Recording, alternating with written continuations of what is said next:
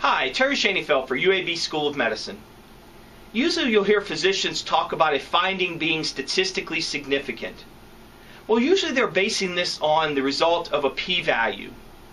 In this video, I'm going to discuss in very general terms what a p-value is, how you interpret it, and importantly, what it can't tell you about the findings of a study. So there are two statistical approaches we can use to compare two groups. And let's say we're doing a study of comparing a new drug to placebo. And we want to see its, its outcomes. So the first thing we would do is calculate the main effect of the, of the difference between the outcome rates in these two arms of the study and calculate the variance or variability in this main effect.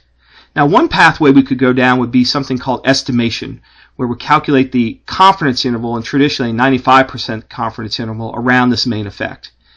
I have a previous video describing confidence intervals, and we're not going to talk about that anymore in this video. What we are going to talk about is hypothesis testing. And in an experiment, we develop a null hypothesis, and in a superiority trial, that null hypothesis is that the main effect is zero. And then we calculate our test statistic and determine a p-value. So statistical tests are just mathematical formulas that produce test statistics.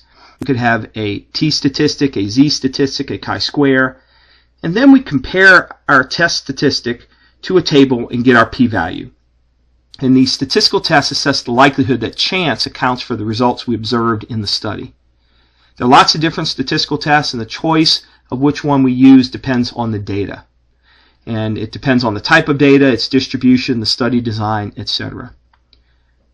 This slide shows a variety of different statistical tests that are available, and as you can see when you look at these figures that the test that you choose depends on the underlying data.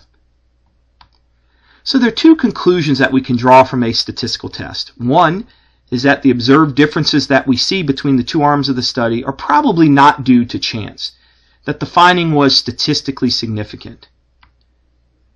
We also could come to the conclusion that the observed differences are likely due to chance, that there was no significant difference, that it wasn't statistically significant. Now, either of these two conclusions could be long, wrong, leading to a variety of errors, type 1 and type 2 errors. So this figure tries to show that there is some higher being out there that knows the truth, that our two arms of the study, our new drug, is either different or it's not different than placebo. And we do a study to try to estimate the truth because we never can really know the truth unless we studied every single person with that disease, and that's almost impossible. And our study could say that a difference exists between our new drug and placebo or, or that there is no difference. Now we're in these two boxes, we're in great shape. Our study found a difference when one truly exists, and this is the power of a study. Or our study found no difference and no difference really exists. We're great. The problem is when we're in these two boxes. And for the remainder of this video, we'll focus on alpha or type 1 errors, which is when our study finds a difference when no difference exists.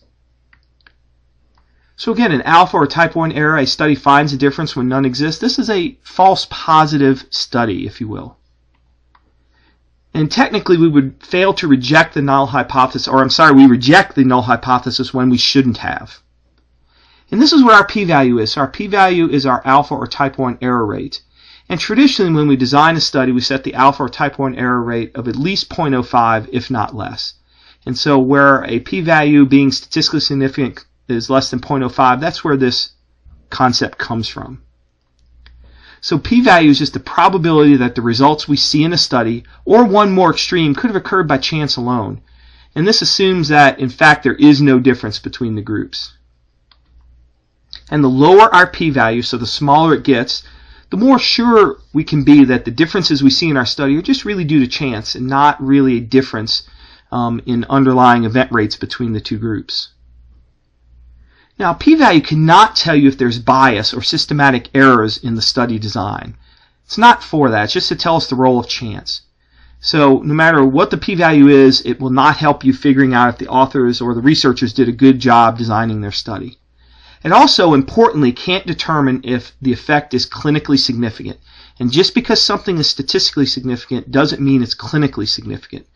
So very small effects in a very large study can have a very small p-value and be highly statistically significant, but not very clinically important.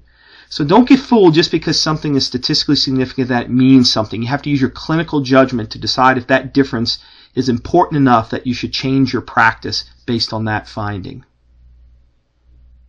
This video has helped you understand the uses and the limitations of p-values. Remember, if you have any questions, you can contact me through the course website or through the Contact Me section of my blog. Have a great day.